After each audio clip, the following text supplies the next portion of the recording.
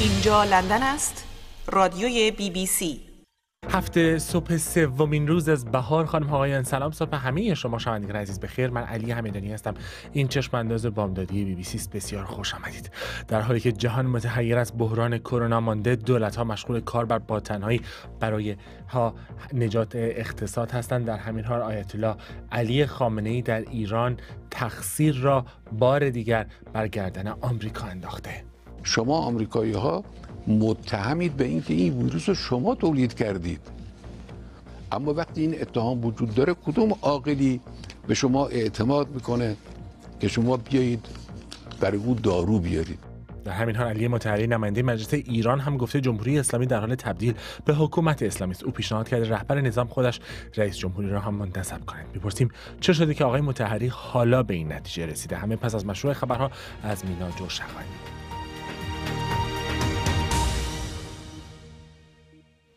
سلام و صبح بخیر. رئیس جمهوری آمریکا شب گذشته از های بیشتر دولت فدرال به ایالت‌های نیویورک، کالیفرنیا و واشنگتن برای مبارزه با ویروس کرونا خبر داد. Four large federal medical stations with 1000 beds for New York, دونالد ترامپ پس از آن از احداث های جدید چند هزار تخت خوابی و خدمات درمانی مضاعف خبر داد که بیل دبلازیو شهردار نیویورک درباره خطر کمبود تجهیزات پزشکی در این شهر هشدار داده بود. از سوی دیگر اختلاف میان احزاب در مجلس سنای آمریکا باعث تأخیر در تصویب لایحه های اقتصادی دولت شده. در سرتاسر سر آمریکا دست کم 32 هزار نفر به کووید 19 مبتلا هستند و بیش از 400 نفر جانشان را از دست دادند.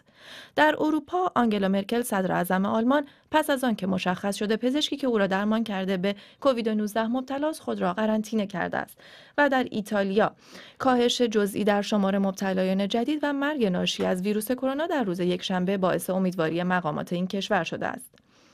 آیت الله علی خامنه ای رهبر ایران روز گذشته آمریکا را به تولید ویروس کرونا متهم کرد و گفت به همین دلیل است که ایران برای مقابله با کرونا از آمریکا کمک نمی‌گیرد.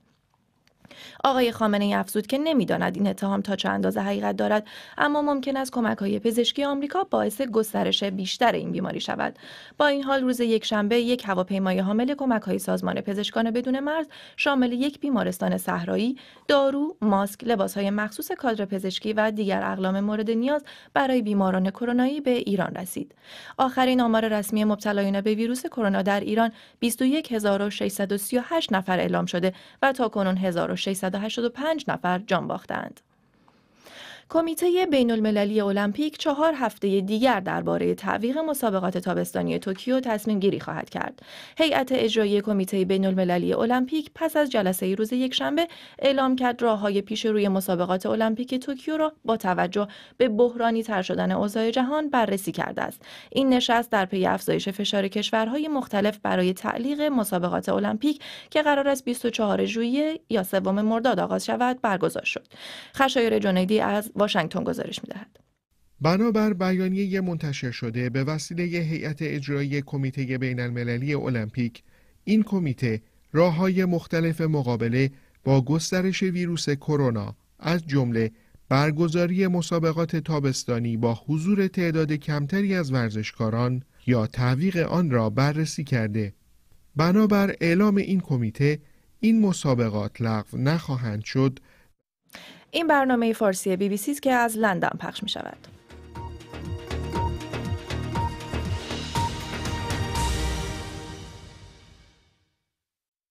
صبح چهارمین روز فروردین همه شما شنوندگان عزیز بخیر خدمت شما. هر کجایی که هستید سلام می‌کنم. علی همدانی هستم. امیدوارم که حال احوالتون خوبه. دلتون در این روزهای عجیب و غریب خوش دست کم. جهان بیتاب تبی است که هنوز معلوم نیست چطور به جان بشر افتاده. یک شنبه بالاخره تعداد کشته های ویروس کرونا در ایتالیا پایین آمد.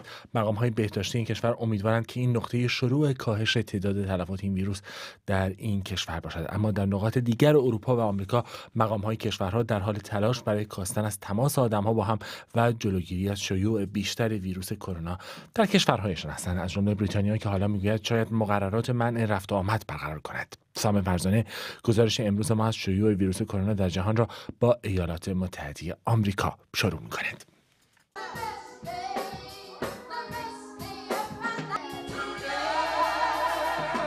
فارغ از دستور دولت کالیفرنیا به خانه نشینی در کلیسایی در شهر اوکلند این ایالت گروهی از مؤمنان با نیایش می‌خواهند روحیه خود را حفظ کنند. کشیش این کلیسا می‌گوید که خدا به مردم قدرت مقابله می‌دهد و با شاهد آوردن از انجیل می‌گوید که این نیز میگذرد.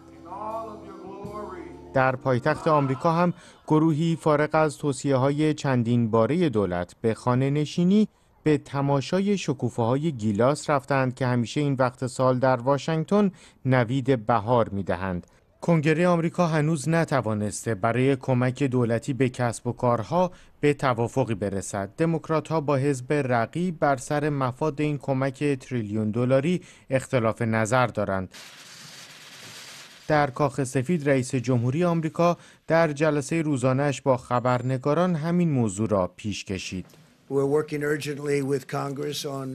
ما به فوریت و با همراهی کنگره مشغول کار روی قانون حمایتی از میلیون ها کارگر کسب و کارهای کوچک و صنایع هستیم که خیلی از این ویروس ضرر دیدند.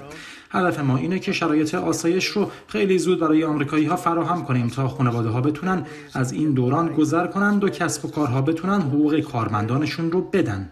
در بریتانیا هم دست کم در لندن هنوز مردم خطر انتقال ویروس در مکانهای عمومی را جدی نگرفتند. بوریس جانسون نخست وزیر بریتانیا که پیشتر چندان موافق بستن مرزها و وضع قواعد سفت و سخت نبود زیر فشارها نظرش عوض شده است.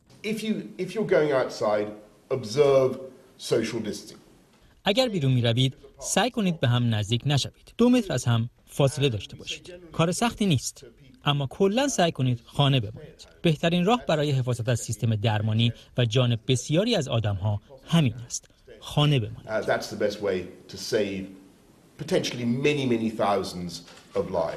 صدر اعظم آلمان اما به جای خواهش فرمان صادر کرده. اجازه دارید که به تنهایی به اماکن عمومی بروید یا با اعضای خانوادهتان یا فقط با یک نفر که با شما در یک خانه زندگی نمی کند. نخست وزیر یونان اعلام کرده که از صبح دوشنبه مقررات منع رفت و آمد را در کشور اجرا خواهد کرد.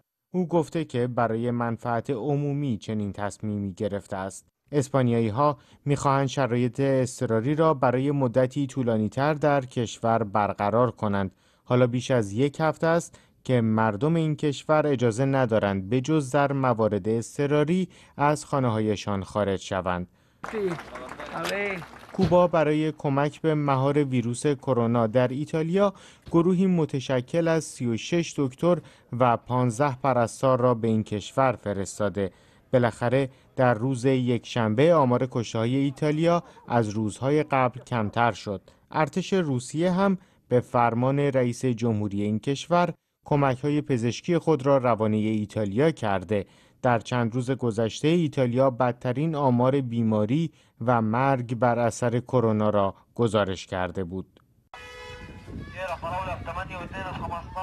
و در نهایت فلسطینی ها در کرانه باختری بعد از آنکه خبر آمد که از دوشنبه باید به مدت دو هفته در خانه هایشان بمانند در آخرین ساعات برای خرید و ذخیره کردن آزوقه از خانه هایشان بیرون رفتند. سام فرزانه گزارش می‌داد اما در ایران آیت الله علی خامنه‌ای رهبر جمهوری اسلامی ایران اتهام تولید ویروس کرونا را علیه مقام های آمریکایی مطرح کرده و گفته به همین دلیل جمهوری اسلامی برای مقابله با کرونا از آمریکا کمک نمی‌گیرد. آقای خامنه ای خطاب به مقام های آمریکایی گفته نقل به این می‌کنم شما متهمید که خودتان این ویروس را تولید کردید. او افزوده که البته نمی‌داند چنین اتهامی چقدر درست است و شواهد و مستنداتش چیست؟ رهبر جمهوری اسلامی گفته آمریکا می‌خواهد با کمک های دارویی ویروس را در ایران ماندگار کند او همچنین یک فرضیه دیگر را هم مطرح کرده که اگر به گفته او ویروس کرونا به طور ویژه‌ای برای ایران طراحی شده باشد آمریکا در قالب اعزام کمک بخواهد به ارزیابی اثر ویروس تولیدی خود بپردازد و اطلاعاتش را تکمیل کند آیت الله خامنه‌ای همچنین در بخش دیگری از سخنان خود گفته جمهوری اسلامی هم دشمنانی از جنس جن دارد و هم از جنس انسان و این دو با هم همکاری اطلاعاتی می کند. این اظهارات در حالی بیان می شود که کرونا به سرعت در ایران در حال قربانی گرفتن است تا صبح روز گذشته 21 هزار نفر به ویروس کرونا مبتلا شدند و نزدیک به 1700 نفر هم کشته شدند. ریحانه مظاهری گزارش می‌دهد. این روزا من خیلی یاد پدر خدا بیامرزم میافتم. آقا جونم هر وقت ما داشتیم از خونه میامدیم بیرون می‌گفت بشینین سر جاتون. اگه برف میومد می‌گفت تو این برف کجا میریم؟ بشینین سر جاتون. اگه گرم بود می‌گفت تو این آفتاب کجا میریم؟ بشینین سر جاتون. اگه عید بود می‌گفت تو این عید شروع کجا داریم میریم؟ بشینین سر جاتون. خلاصه دائما به ما می‌گفت بشینین سر جاتون. چون نگران ما بود. منم الان نگران شما. می‌خوام از بال آقا جون خدا بیامرزم. بهتون بگم بشینین سر جاتون. تا عید همگی مبارک بشه. بشینین سر جاتون. پیامی که این روزها در گوشه و کنار دنیا به گوش می‌رسد. در خانه بمانیم اما در ایران به نظر نمی رسد بحران کرونا و لزوم خانه نشینی در این شرایط را بعضی از مسئولان و مردم آنطور که باید جدی گرفته باشند. وضعیت ترافیک رو می‌بینید که هموطنان همچنان خارج از منزل و اینها تصاویری از جاده های ایران در نخستین روزهای سال نو خورشیدی است. گروهی که با وجود هشدارهای پزشکی برای دوری از افراد سال خورده و کسانی که در برابر ویروس کرونا آسیب پذیرند باز هم راهی سفر شدند و دید و بازدیدهای عید را کنار نگذاشتند. مشکلی پیش اومده برام می‌خوام بریم برمیگردیم زیاد چیز نمی‌کنیم. اونجا حساب وای نمیستیم. 20 روز تهران موندیم نمی‌شد دیواد بیاد خونه پدر مادرمون میریم مسافرت نمیریم. آمار نشان می‌دهد که تنها در دو روز نخست سال نو بیش از یک میلیون سفر از تهران صورت گرفته. ده درصد از این سفرها به همدان بوده. با ادامه ترددهای شهری و بین شهری مدیران سابق سازمان بیمه ایران از دولت خواستند تدابیری برای محدود کردن رفت و آمدها در نظر بگیرد. آنها در نامه‌ای به رئیس جمهوری ایران هشدار دادند که اگر برای جلوگیری از شیوع بیشتر کرونا اقدام نشود به دنبال خطاهای برآوردی در بهمن شاهد مشکلات بیشتری در اواخر فروردین ماه خواهیم بود مسئولان برخی از شهرها هم رأسا وارد عمل شدند تا جلوی ورود مسافران به شهرهایشان را بگیرند از جمله شهردار یزد گفته برای جلوگیری از شیوع ویروس ورودی های شهر را بسته و به مسافران غیربومی اجازه ورود نمی‌دهند فرمانداری بروجرد هم اعلام کرده که به هیچ خودرویی با پلاک غیر بروجرد حق ورود به این شهر را نخواهد داد و تمام خودروهای غیر بومی که از قبل وارد شهر شدند هم حق تردد در شهر ندارند. ظرف 24 ساعت گذشته حداقل 1028 نفر مطابق یافته های آزمایشگاهی آزمایشگاه های مورد تایید ما در سراسر کشور از موارد جدید ابتلا به بیماری کووید 19 قلم داد میشن آخرین آمار وزارت بهداشت ایران از افزایش شمار مبتلایان و قربانیان کرونا حکایت دارد. بر این اساس تا امروز 21638 نفر مبتلا شدند و در یک روز گذشته با مرگ 129 نفر دیگر تعداد قربانیان به 1685 نفر رسیده. 7913 نفر هم بهبود یافتند. بیشترین مورد افزایش در شهر تهران بوده. دیروز 249 مورد جدید در این استان گزارش شده. با گسترش ویروس کرونا و در جدیدترین اقدام دولت با دستور استانداری ها همه مراکز تجاری به جز داروخانه ها و فروشگاه های مواد غذایی از امروز در تهران و مشهد تعطیل خواهند بود. در استان گیلان در شمال کشور یکی از مراکز گسترش ویروس کرونا به نظر می‌رسد همچنان سفرها ادامه دارد. حالا نماینده وزارت بهداشت در این استان از احتمال بروز موج دوم شیوع کرونا در این استان به دلیل عدم رعایت و ادامه ترددهای شهری و برون شهری خبر داده. فقط بخشی از مردم نیستند که خطر شیوع کرونا را جدی نگرفتن بلکه برخی از مسئولان کشوری هم به شیوع این ویروس به عنوان یک توطئه علیه ایران نگاه می‌کنند. از جمله شخص آیت الله خامنه ای که آمریکا را متهم به تولید ویروس کرونا کرده و در پاسخ به پیشنهاد کمک دارویی این کشور می‌گوید ایران از آنها کمک نخواهد گرفت. شما آمریکایی ها متهمید به اینکه این ویروس رو شما تولید کردید. من نمی‌دونم چقدر این اتهام حقیقی است. اما وقتی این اتهام وجود داره کدوم عاقلی به شما اعتماد می‌کنه که شما بیایید برای او دارو بیارید؟ ممکنه داروی شما یه وسیله ای باشد برای اینکه این بیماری رو بیشتر گسترش با این حال البته برخی کمک های بین المللی راهی ایران شده. از جمله بهرام قاسمی سفیر ایران در فرانسه از اعزام اولین هواپیمای کمک های پزشکان بدون مرز به ایران خبر داده. او گفته این کمک ها شامل یک بیمارستان صحرایی دارو ماسک و لباس های مخصوص کادر پزشکی و دیگر تجهیزات مورد نیاز است که از فرانسه راهی تهران شده.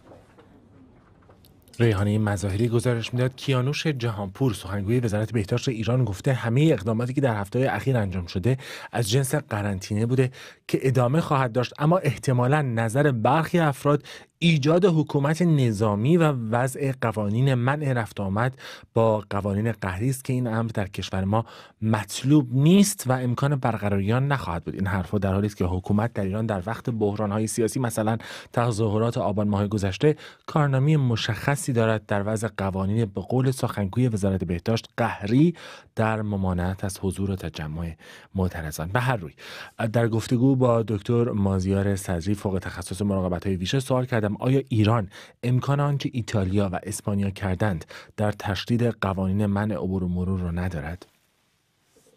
قرنطینه دو تا معنی داره. یا ما شخصی که مبتلا به یک بیماری واگیر هست رو از افراد سالم جدا می‌کنیم و یا اینکه ما افرادی رو که در معرض یک بیماری واگیر قرار داشتند از دیگران جدا می‌کنیم و اونها رو تحت نظر می‌گیریم و ببینیم که آیا بیماری رو داشتن یا نه خواهند داشت یا خیر. اگر این دو تعریف رو ما بهش نگاه بکنیم می‌بینیم که ما خب در ابتدا یک بیماری به اسم کرونا ویروس وارد کووید 19 وارد ایران شد. ما می‌تونستیم خب خیلی مواردی که بود محدود بود در شهرهای خاصی بود. اون رو می‌تونستیم از طریق قرنطینه به مدل کلاسیک در اون مواقع بتونیم کنترل بکنیم با بستن شهرهای خاص.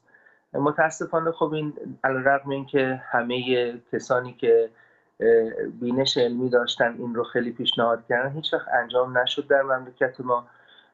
بعد از اون حالا که بیماری وسعت بسیار زیادی دیده میشه من فکر می‌کنم راهکاری که خیلی عملی باشه با توجه شرایط اجتماعی و امکانات ما به عنوان کشوری که نه چندان پیشرفته هستیم در امور اجتماعی این باشه که ورود و خروج به استانها یا شهرهای خاص رو بتونیم کنترل بکنیم. این چیزی که ما دیدیم که بسیار بسیار کشورهایی مثل ایتالیا یا اسپانیا که شما میفرمایید خیلی بهش متوسل شدن در این زمینه. ما تردیدی نیستش که برخی از استانهای ایران الان شیوع کمتری از کرونا دارند و برخی استانها شیوع بیشتری و متاسفانه بسیاری از افراد کشورمون هم در ایام نوروز ما می‌بینیم که دارن مسافرت می‌کنن و به جاهای مختلف سفر می‌کنن که متاسفانه این با هیچ گونه عقل سلیم تطابقی نداره. بله. آقای دکتر همزمان با شیوع ویروس کرونا تعداد قربانیان ناشی از مصرف الکل الکل صنعتی البته. در ایران افزایش پیدا کرده به گفته سخنگوی وزارت بهداشت جمهوری اسلامی در سراسر ایران حدود 2200 نفر دچار مسمومیت الکلی شدند و از این تعداد 244 نفر هم جونشون رو از دست دادن. رئیس اورژانس استان فارس هم اعلام کرده شمار کسانی که بر اثر مصرف الکل دچار مسمومیت شدن به 530 نفر رسیده. به گفته او سن آنها از 20 تا 40 سال بوده. در ایران نوشیدنی های الکلی به هر حال می‌دونیم که قدغن هست. الکل طبی رو بدون منظورم الکل خالص هست بدون نسخه نمیدن. بسیاری رفتن سراغ الکل های صنعتی. کوشش دارن می‌کنن که الکل صنعتی رو قابل نوشیدن بکنن یا برای الکل صنعتی رو دارن به اسم الکل طبی به مردم میفروشن. یک سوال رو اگر شما جواب بدین تکلیفش رو مشخص بکنین ممنون میشم. آیا نوشیدن الکل به جلوگیری از ابتلا به کووید 19 و انتقال ویروس کرونا کمک می‌کنه یا نه؟ مسلما خیر. این دنباله همون مسائلی است که من قبلا هم در مسابقه بسیاری بهش پرداختم. متاسفانه بسیاری عقاید قرون وسطایی و غیر علمی در کشور ما رواج داره. من نمی‌دونم منشأ اینها کجاست. انتظار بیشتری داریم از جامعه که فرهنگ طولانی داره که به مسائل علمی بسیار عمیقتر نگرش داشته باشه. مسلما می‌دونیم در سطح پوست الکل با غلظت بالای 60 درصد اثر کشنده روی ویروس داره. ولی به هیچ ترتیب نوشیدن الکل یا الکل از طریق دستگاه گوارش نقشی در جلوگیری از بیماری نداره.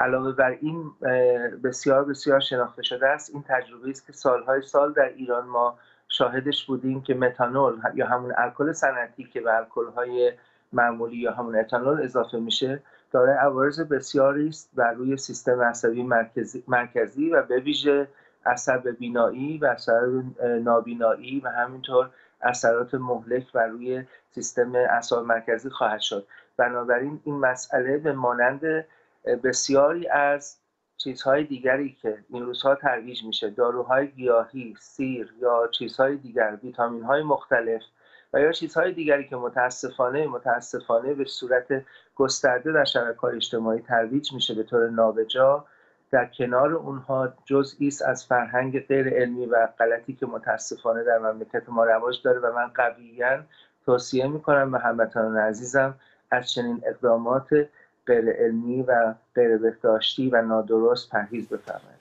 گفتگو کردم با دکتر مازیار صدری فوق تخصص مراقبت های ویژه. پس جواب مشخص شد نوشیدن الکل هیچ کمکی به جلوگیری از شیوع یا ابتلا به ویروس کرونا و بیماری کووید 19 نمی‌کنه. لطف بکنید اگر که مشاهده ای دارید از آنچه که این روزها در سراسر جهان از جمله در ایران میگذره در دست و پنجه نرم کردن با ویروس کرونا با ما در میون بگذارید. می‌تونید با ما تماس بگیرید. اگر تا انتهای برنامه پیامتون رو بفرستید من برای سایر شنوندگان اون رو خواهم خوند خصوصا از نوروز بگید در سایه این بحران. دیدگاه های شما در این برنامه. در تلگرام به بی بی سی شما. بامدادی at bbc.co.uk دو سفر چهل و چهار سیصد و هفتاد چهارصد و دوازده بیست و دو بیست و دو.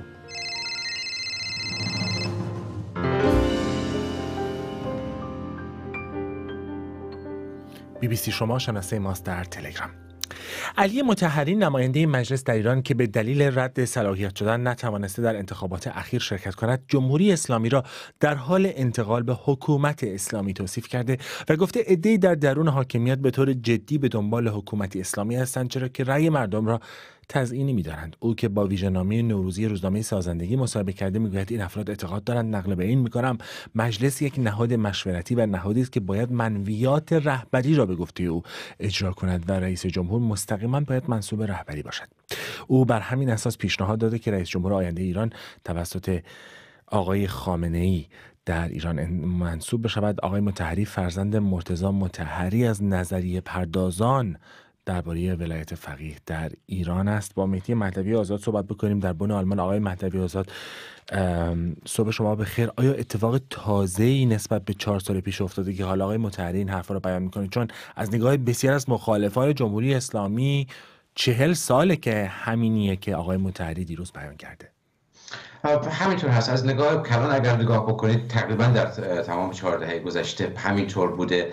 و اگر بخوایم یه ذره میکروسکوپی نگاه بکنیم 20 سال هست که بخشی از قدرت مدام داره هشدار میده که ما از بعد جمهوریتی حکومت داریم فاصله می‌گیریم. منتها بله در سه ماه اخیر سه چهار تا اتفاق افتاده که در واقع تیر خلاص هست به اون پیکر بیجان نش بیجان پارلمان در جمهوری اسلامی. اتفاق اول بعد از مرگ قاسم سلیمانی و شلیک آمریکا با قاسم سلیمانی بود. بعدا نمایندگان گفتن که اونها رو وادار کردن اونها رو جمع کردن که برای اولین بار در تاریخ جمهوری اسلامی تر سپولیتی بدن. نهایتا 250 میلیون دلار به سپاه قدس اختصاص بدن. بعد از اون تجمعات آبان ماه بود. افزایش قیمت بنزین. اگر خاطرتون باشه مجلس سعی کرد بخش از نمایندگان برای پاسخ دادن به اعتراضات عمومی یک طرح دوفوریتی یا سفوریتی بگذاره. اگر یادتون باشه آقای خامنه‌ای زد تو دهن مجلس گفت شما حق ندارید یعنی حتی اجازه ندادن در مسائل اقتصادی که قبلا اجازه ورود داشت حرف بزنه. اتفاق سوم مسئله رد صلاحیت ها بود. این رد صلاحیت ها البته بی سابقه نبود. همیشه شورای نگهبان چنین کاری رو می‌کرد. منتها این بار به قدر این سوزن رو تنگ کرد که حتی کسی مثل علی متحری رو هم بیرون گذاشتن و مسئله چهارم بودجه 99 بود که اصلا فاتحه خواندن فاتحه مجلس شورای اسلامی است. چون این مجلس هر چی که نبود حداقل توی 40 سال گذشته درباره لوایح بودجه اظهار نظر می‌کرد که اینم آقای خامنه‌ای ازش گرفت و خودش بودجه رو تصویب کرد. حتی بر مبنای قانون اساسی و تصویب کمیسیونی هم نبود. برای فکر می‌کنم این فقط خشم علی متحری خشم احتمالی او از رد صلاحیت خودش یا یک موزگیری ساده نیست. به واقع بخشی از قدرت که تا الان منتقد اما خود خودی بودند و جزئی از کاست قدرت محسوب می شدن حس می‌کنن که حالا دیگه فاتحه همه چیز خوانده شده و حکومت یکسره داره به سمت اون رویایی میره که حکومت اسلامی خوانده می‌شد. آقای مهدوی آزاد آقای متحری در بخش دیگری از اظهاراتش گفته که نقل به این می‌کنم بسیار از مشکلات کنونی ناشی از لجبازی بخشی از حکومت با دولت حسن روحانی است و اگر در انتخابات سال 96 ابراهیم رئیسی رأی می آورد شاید به مذاکره با آمریکا هم رسیده بودیم و FATF هم به اینجا نمی رسید و حامیان او هم می‌گفتند که ما چرخش عزت مدارانه کردیم و امروز مسلحت اسلام در این است. البته اشاره است به حرفای آیت الله خامنه‌ای همون نرمش قهرمانه این گفتی آقای متحری اما تا چه اندازه به نظر شما با واقعیت انتباق داره؟ اگر امروز ابراهیم رئیسی رئیس جمهوری اسلامی بود آیا وضع بهتر از این بود؟ ببینید این حرف هم درست هم درست نیست. از اون حرفای اشتباهیه که خیلی رایجه. درست هست به این خاطر که بله اگر ابراهیم رئیسی بود تنش های داخل قدرت خیلی کمتر بود. علی خامنه‌ای به او حمایت می‌کرد. نهادهای زیر مجموعه با آقای خامنه‌ای که بسیار قدرتمند و ثروتمندن. 50 تا 60 درصد اقتصاد مولد ایران نه کل در واقع تولید ناخالص ملی رو در اختیار دارند. سیاست خارجی سپاه قدس و قدرت اونها با او همکاری می‌کرد از این زاویه درسته.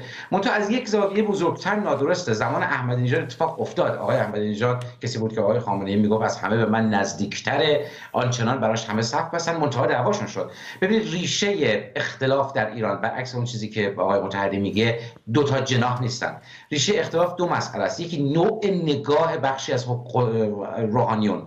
به مسئله مقول به مقوله جمهوریت و رأی مردم اون جمله معروف آقای مصباحی از یادتون هست اسفند 1388 که گفت مردم چه کاره هستن که بخوان رأی بدن؟ اینا در قدرت هستن. و نکته دوم دعوا بر سر منافع مالی و منافع امنیتی است. یعنی بین خودشون هم دعوا میشه. بعضی وقتا دیدید ارسیه برادر با برادر رو به جنگ میاندازه. چه برسه آخوند با آخوند یا مکلا با مکلا رو. بنابراین از این زاویه اگر نگاه بکنید نه اگر ابراهیم رئیسی هم سر کار بود تفاوت بزرگی درست نمی‌شد. همچنان بخش از خطوط قرمز که باعث قدرت گرفتن سپاه پاسداران نهاد روحانیت هست همچنان خطوط قرمز میموند و همچنان همین وضع بود که الان توش هستیم. سپاسگزارم. مهدی مهدوی آزاد در این نخستین ساعت بامداد به وقت بن در آلمان. اما اجازه بدید که کمی از سیاست دست کم سیاست روز دور بشیم و مرور بکنیم بخش اول مجلات نوروزی رو با مسعود بهنود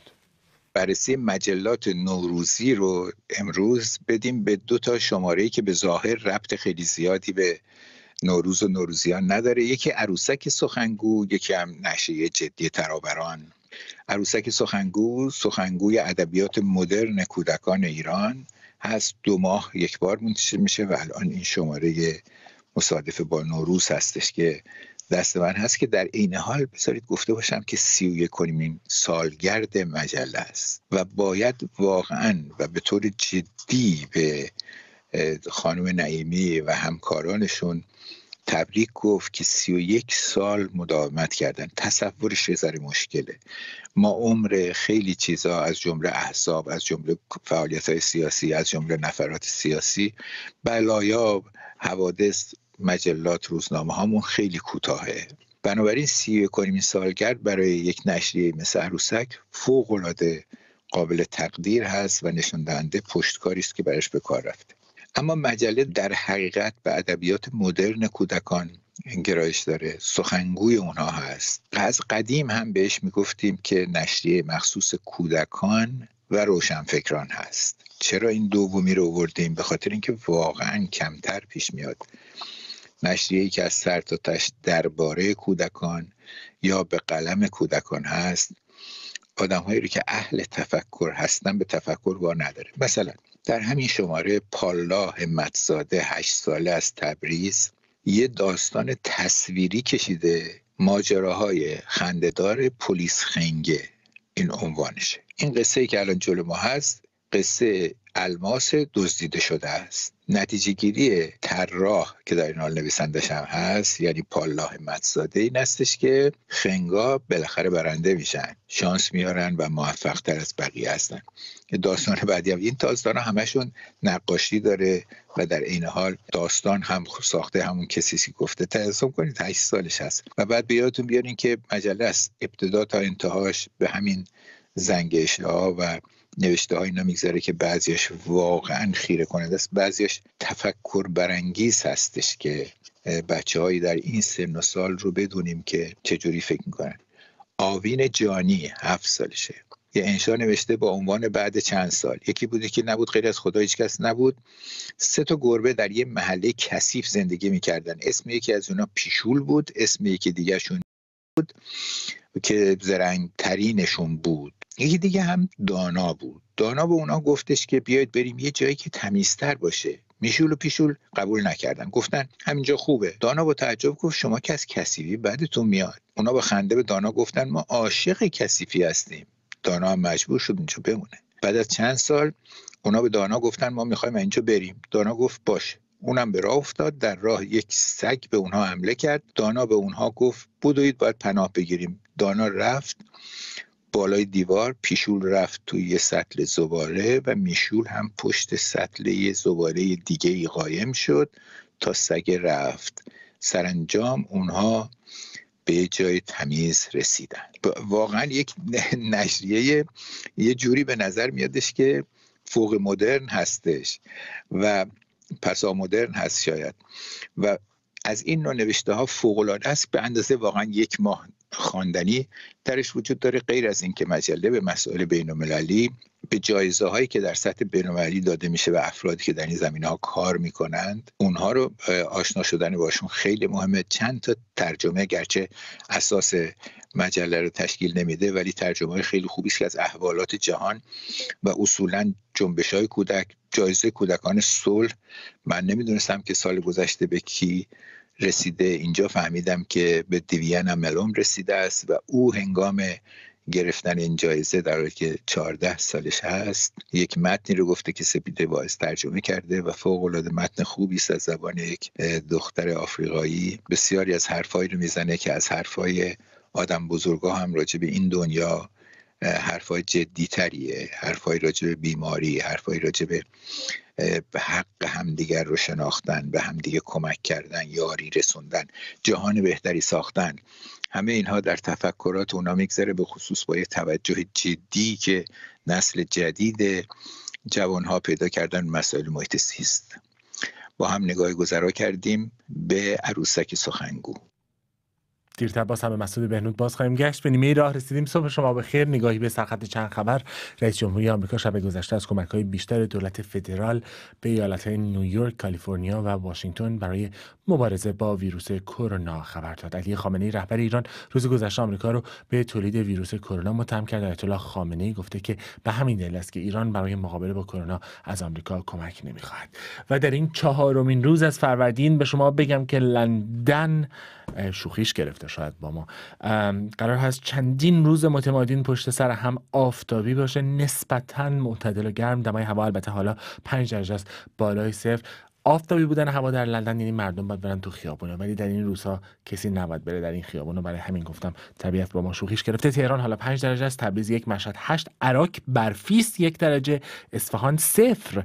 بندر عباس 18 کابل 9 مزار شریف 15 هرات 11 و دوشنبه 13 درجه است. بالای صفر. در ادامه برنامه بیشتر مجله های نوروزی خواهیم داشت. از جمله سری خواهیم زد سفر موزیکال خواهیم داشت. به آسیای میانه در از دو سوی آمو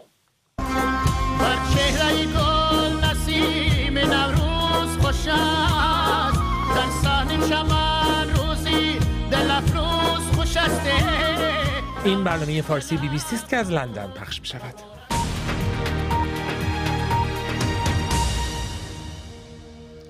خوش آمدید به نیمه دوم چشمانداز بامدادی بی بی سی. شنوندگان عزیز مشهور است که مغولان در حمله به ایران از جمله کسانی را که از دم تیغشان گذراندن شیخ فریدالدین عطار نیشابوری بوده. اما سعدی که در آن زمان جوان بوده توانسته جان سالم از دست حمله مغول به در ببرد. در برنامه شیرازه امروز سام فرزانه نگاهی انداخته به دوره و زمانه سعدی. شیرازه ورقی از گلستان سعدی. زمانه سعدی. سلام. علی شریعتی در کتاب حبوط در کویر این بیت از یک غزل سعدی را آورده. درخت قنچه برآورد و بلبلان مستند. جهان جوان شد و یاران به عیش بنشستند و می نویسد خدا مرگت بده که تو شاعر قرن هفتمی. قرنی که مغول از شرق و صلیبی ها از غرب این سرزمین را حمام خون ساختند. علی شریعتی و بسیاری از منتقدان به سعدی خورده می‌گیرند که در برهه حساس کنونی آن زمان به فکر مردم نبوده هیچ که سرش پی کیفش بوده و دو دو تا چهار تا می کرده چطور مداهی کند تا از متمولان زمان پول بگیرد. کامیار آبدی کتابی دارد به نام جدال با سعدی در عصر تجدد که در آن انتقاد علی شریعتی و شمار دیگری از اهل قلم ایران به سعدی را جمع کرده است. از جمله احمد شاملو، بهازین، رضا براهنی و اسماعیل خویی. در کتاب آقای آبدی که انتشارات دانشنامه فارس با همکاری مرکز سعدی شناسی منتشر کرده همچنین نظرات مدافعان سعدی هم ثبت شده است. در این برنامه از دوره و زمانه سعدی می‌گوییم اما پیش از آن حکایتی از گلستان سعدی را با شبنم طلویی برایتان روایت می کنیم.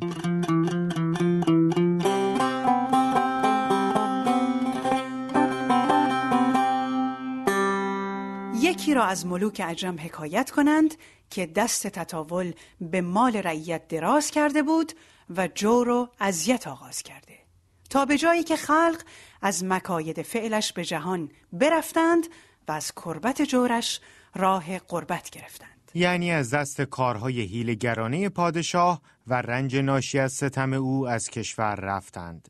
در نتیجه مهاجرت رعیت این مملکت ارتفاع ولایت نقصان پذیرفت. یعنی از اعتبار کشور کاسته شد. خزانه توهی ماند و دشمنان زور آوردند.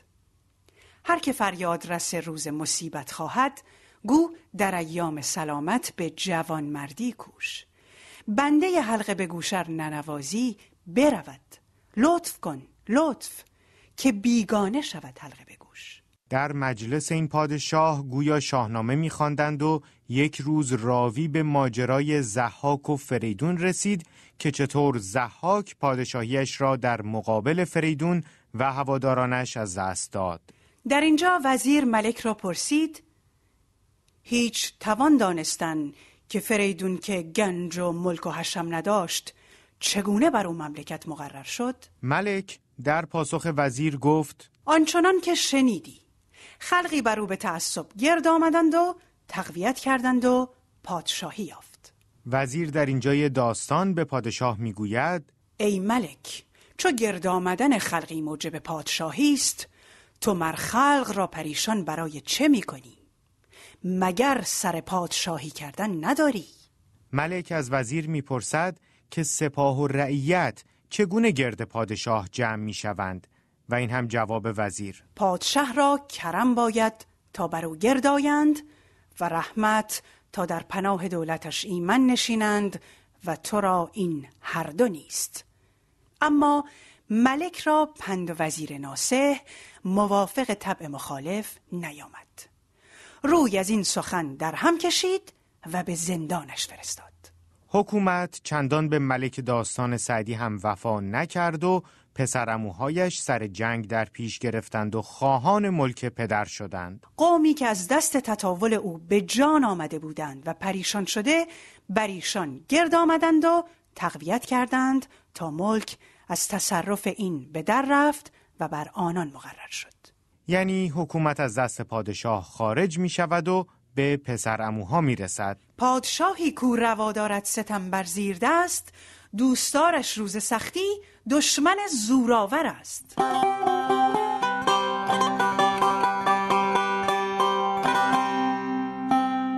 به نظر من این حکایت طرحی است که سعدی از دلایل فروپاشی کل ممالک ایرانی پس از حمله مغول داره. صحبتش اساسا این است که چون دست تطاول به مال رعیت دراز کردند این اتفاق افتاد. و اونها هم که نصیحت کردند پادشاه رو کسی بهشون گوش نکرد. این صدای مهدی جامی نویسنده است. از یک سمت حمله مغول رو داریم و از سمت دیگر جنگ های صلیبی رو داریم که باز هم سعدی تجربه شخصی داره. یعنی خودش اونطور که میگه در ترابلوس اسیر شده. توی این مجموعه هست که به نظرم نظام اخلاقی سعدی هم قابل تبیین هست در سال 616 قمری که احتمالاً سعدی ده ساله بوده مغولان به ایران حمله می کنند. مجگان قاضی راد نویسنده درباره زمانه سعدی چنین می‌گوید زمانه سعدی زمانه گذار و ناامنی است همه چیز خیلی ناپایدار است و حاکمان مختلفی میآیند و می‌روند. در عین اینکه اتابکان فارس تونستن شیراز رو حفظ کنن ولی با وجود این این ناامنی در گوشه گوشه گلستان قابل درک هست. اتابکان فارس چطور توانستند شیراز را حفظ کنند؟ اول ببینیم اینها که بودند. اتابک کسی بوده که به جای شاهزاده جوان و حتی نوجوان یا کودک حکمرانی می کرده اما به شاه بزرگ پدر بچه جواب پس می داده است. این افراد کم کم این شاهزادگان خودشون کنار زدن و تونستن که قدرت رو به دست بگیرن و حکومت های خودشون رو تشکیل بدن. یکی هم همین اتابکان فارس. حسین شیخ دانشجوی دکترای ایران شناسی در دانشگاه گوتینگن آلمان است. کلا اتابکان فارس مثل سایر حکومت های محلی که در ایران از دوره سلجوقیان به این طرف حکومت می‌کردن هرگاه که حکومت بزرگی و قدرتی در این مناطق پیدا می‌شد اینها در از خراجگزار اون می‌شدن به قول معروف خودمختار حکومت می‌کردن ولی خراجگزار عطابکان فارس در دوره سلجوقیان پا گرفتند و بعد پایشان را از گلیمشان درازتر کردند و مستقلتر شدند. در دوره خارزمشاهیان ابراز بندگی کردند. وقتی هم که مغولان به نزدیک فارس رسیدند خودتان حدس بزنید اتابکان چه کردند. اون زمان دوره حکومت سعد ابن ابی بکر هست. این فرد اونجا هست که تابعیت مغول ها رو قبول می‌کنه حاکمیت اونها رو قبول می‌کنه و این در سایه این صلحی که با مغول ها کرده در از سرزمین فارس در امان میمونه. از اون ویرانی ها و از اون کشت و کشتارهایی که در شرق ایران در بخصوص در خراسان بزرگ اتفاق سعدی محصول چنین شرایطی بوده و حاصل سازش با مغولان و ایستادگی بعضی از شهرها مقابل این یورش عظیم را دیده و عجیب نیست که مثلا در حکایتی مانند آنچه شنیدید سعی در نصیحت پادشاهی بکند و در جای دیگری منادی تساهل باشد. البته من می‌گویم تساهل اما نویسنده‌ای مثل رضا براهنی هم هست که در کتاب طلا در مسش نوشته و در کتاب جدال با سعدی در عصر تجدد از او نقل شده که سعدی سازشکار بوده است. یادمان باشد در شیرازی که از حمله مغول در امان ماند بجز سعدی، عبید زاکانی، حافظ و خاجوی کرمانی هم فرصت بالیدن یافتند. در کل وظیفه شاه در از اون کارکرد شاه کسی بود که امنیت رو ایجاد چه در جاده ها چه در خود شهر تا رعیت در آسایش باشند. و وظیفه رعیت این بود که از شاه اطاعت کنند. رعیت اگر از کشاورزی و دامداری و مشاغل دیگر مثل آهنگری و بنایی و غیره پولی به دست می آورد ناگزیر باید بخشی از آن را به عنوان مالیات به شاه می پرداخت تا خرج امور حکومت شود. از مخارج سپاهیان گرفته تا خرج قضات و اهل علم و درباریان و غیره. در دوره سعدی و قرنها بعد از آن بجز شیوه استبدادی فرم دیگری برای حکومت متصور نبودند. اما فاطمه زارعی نویسنده می‌گوید که سعدی در همان دوره پیشنهادهای بهتری هم داشته است. در اون حکایتی که میگه روستازادگان دانشمند به وزیری پادشاه رفتن پسران وزیر ناقص عقل به گدایی به روستا رفتن. پیشنهاد یک شیوه مدرنه که ما الان بهش میگیم شایسته سالاری میده. شایسته سالاری در مفهومی کلیتر مسئله عدالت است که در برنامه بعدی شیرازه درباره آن صحبت می‌کنیم.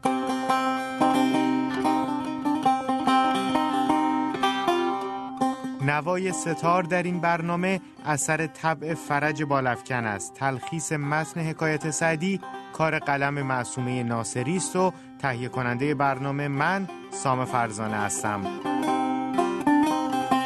نقطه. بریم سراغ خبرهای ورزشی.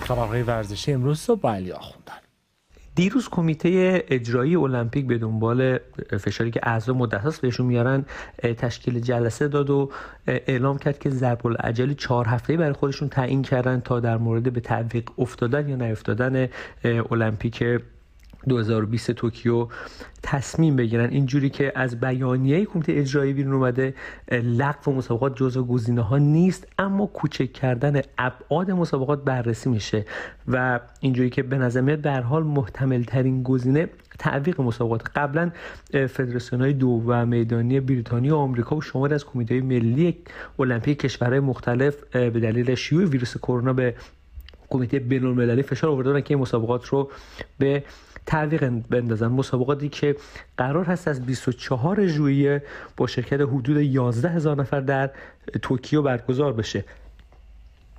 قبلا هم وزیر المپیک ژاپن گفته بود گزینه لغو جزو گزینه این کشور نیست. گفته بودش که در طبق قراردادی که ژاپن با کمیته بین‌المللی المپیک داره هر گونه تصویری در این رابطه به عهده کمیته بین‌المللی المپیک است. خب به خاطر شیوع ویروس کرونا تقریبا تمام مسابقات دنیا لغو شده لیگ های مختلف مسابقات تنیس که لغو شدن مسابقات فرمول 1 که لغو شدن حتی مسابقات اوپن فرانسه که بعد از سپتامبر افتادن و از هم مهمتر شاید بشه گفت مسابقات جام ملت های اروپا بود که به سال 2021 افتاد و فعلا تنها مسابقه مهمی که هیچ در واقع خبر راجعش نیومده بود مسابقات المپیک بود.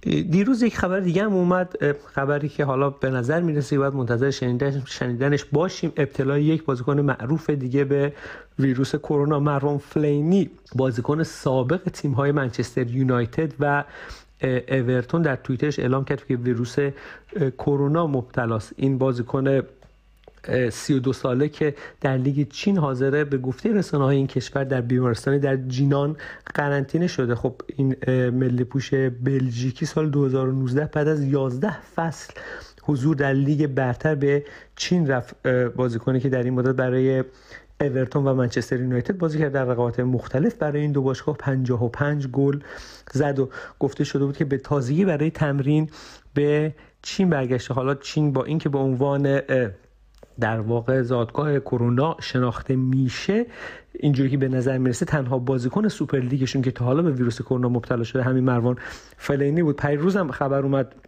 که پاولو مالدینی اسطوره 51 ساله باشگاه میلان که حالا مدیر فنی این تیم هست و پسرش دنیل 18 ساله که با تیم اصلی تمرین می‌کرد به ویروس کرونا مبتلا شده و دو هفته قرنطینه و همچنین پیروز خبر ابتلای پاولو دیبالا ستاره آرژانتینی یوونتوس و دوست دخترش به ویروس کرونا هم منتشر شده بود.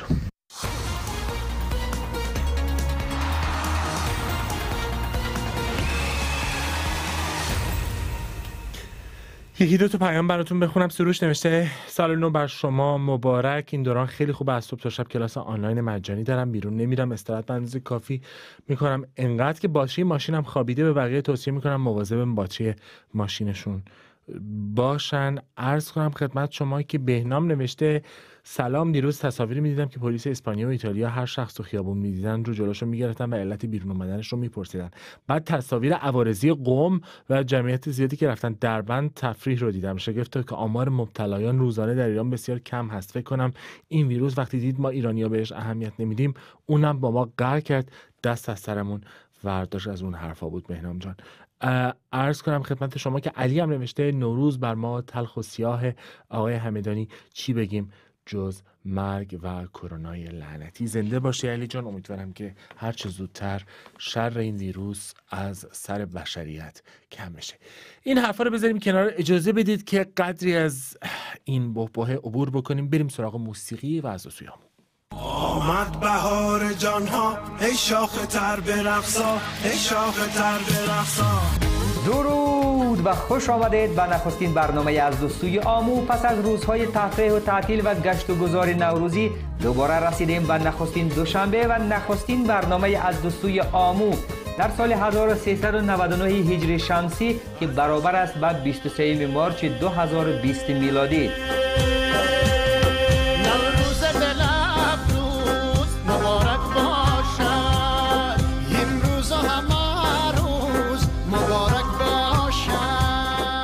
چادر سبز گلرنگ نوروز امروزها گسترده در پهنای نوروزستان منطقه ای که امروزها پر از ساز و آواز و عاشقانه ترین و بهارانه ترین آهنگ هاست آنجایی که نوروز را با شکوه و شهامت جشن می‌گیرند.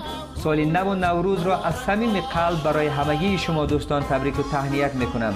بهار زندگیتان به انتها باد و در هر کجا که هستید همگی لباسی عافیت بر تن داشته باشد و لبخند همیشه روی لبهایتان باشد. نوروز خوش است. در سان چمن روزی دل افروز خوش است. نوروز دل افروز. مبارک باشد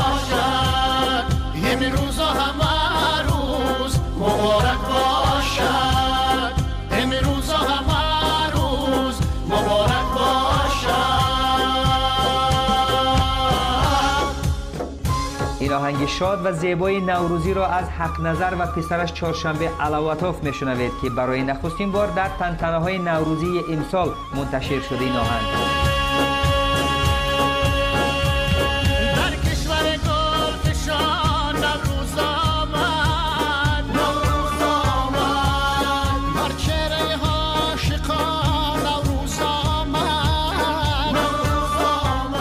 سینکوف و گروهی روشندلان روشان در این بهار نازنین آهنگ نوروزی زیبای دیگری را برایمان برمغان آوردند.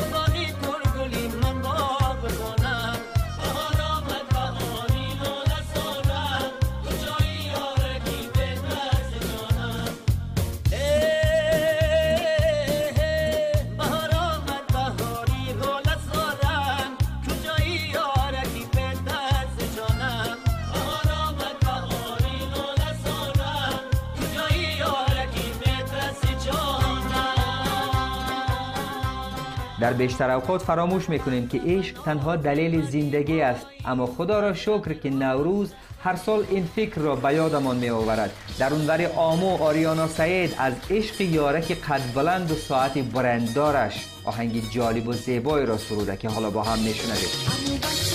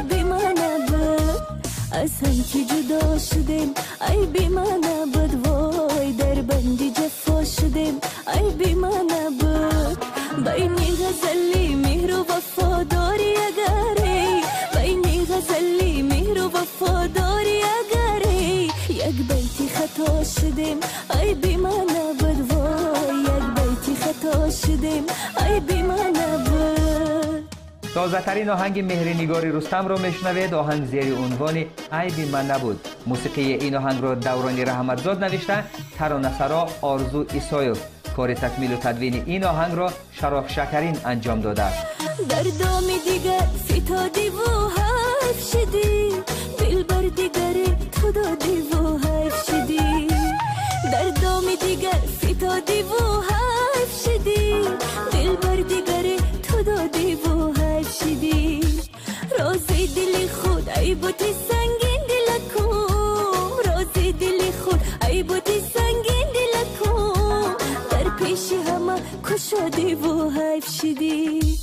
از هم که جدا شدیم ای بی من نبود در بندی جفا شدیم ای بی من نبود بینی غزلی مهر و وفاداری اگری بینی غزلی مهر و وفاداری اگری یک بیتی خطا شدیم ای بی من نبود اید با شکوفه هایش بهار با گلهایش سال نو با امیدهایش و عشق با قصه هایش زیباست قصه دل چنین است. اسم آهنگ زیبای از سمیر بخش که حالا با هم میشنویم. من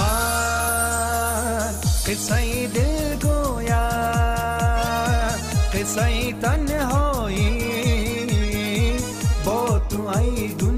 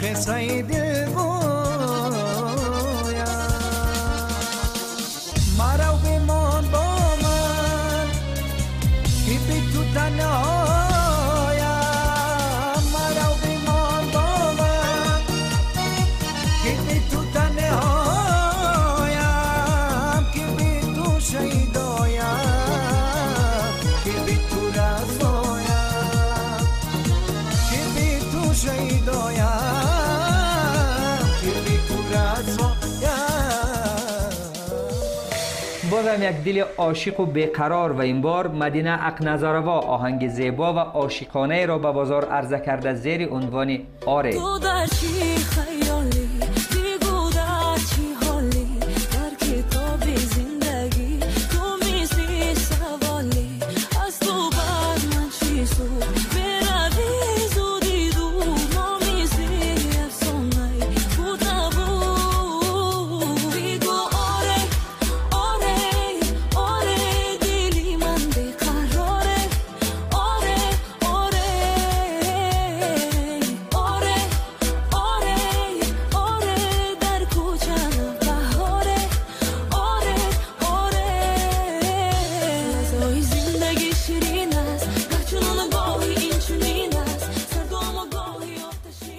مریم یک شنونده برنامه از دوستوی آمو از تهران از ما سوال کرده که هرچند دنبال این آهنگ گشتم پیدایش نکردم.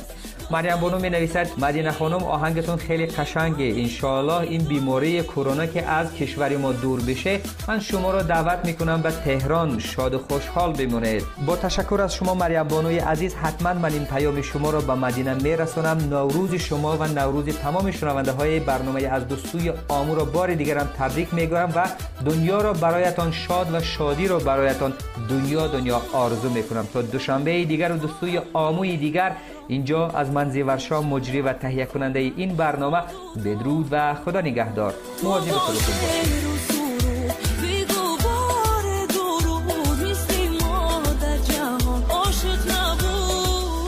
و به این ترتیب به پایان ساعت اول چشم انداز بامدادی رسیدیم. شنوندگان و بینندگان عزیز چشم انداز بامدادی رو من به همراه مینا جوشقانی من علی حمیدانی هستم. خدمت شما تقدیم کردیم تا لحظه دیگر و با نواخته شدن زنگ ساعت بیگ بن ساعت دوم چشم انداز رو آغاز می‌کنیم. اینجا لندن است رادیوی